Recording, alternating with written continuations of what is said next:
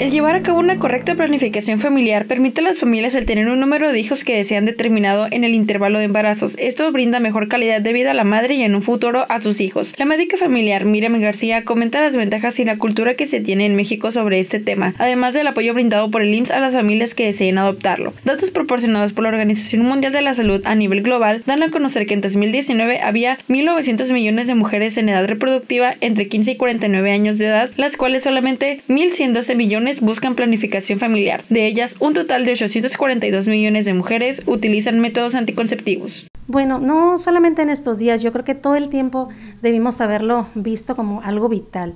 Es el saber yo como ser humano cuántos hijos puedo tener y cuántos puedo mantener.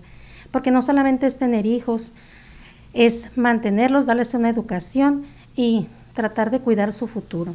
La doctora comenta que en México se ha trabajado por muchos años por mantener el control de la natalidad y actualmente en la localidad hay una gran cantidad de personas, especialmente en jóvenes, que se notan más interesados en llevar una planificación familiar, ya que eso tiene múltiples beneficios como la disminución de abortos peligrosos, menor crecimiento de población y mejoramiento de la calidad de vida. Las personas para cuando vienen a consulta para asesoría de método de planificación familiar, lo primero que tienen que hacer es pasar con su médico familiar. Su médico familiar les va a apoyar dependiendo de las características físicas que tenga la paciente, qué condiciones clínicas tenga, el método más ideal para ella.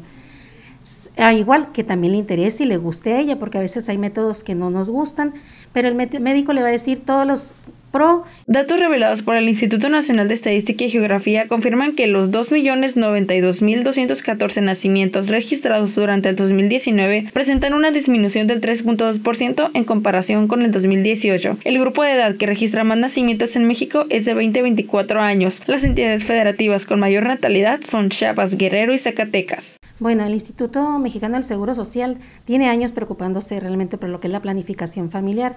Contamos con diferentes métodos de planificación, tanto definitivos como temporales. Dentro de los temporales, pues depende de la paciente si desea pues ya no tener hijos o simple sencillamente cuidarse por un periodo de tiempo. De los temporales, pues tenemos, la mayoría de la gente los conoce, en el Instituto los hormonales orales. Para llevar a cabo la correcta planificación familiar existen diversos métodos como inyectables, dispositivos intrauterinos e implantes OTB o vasectomías. Giselle Ceja, Mega Noticias.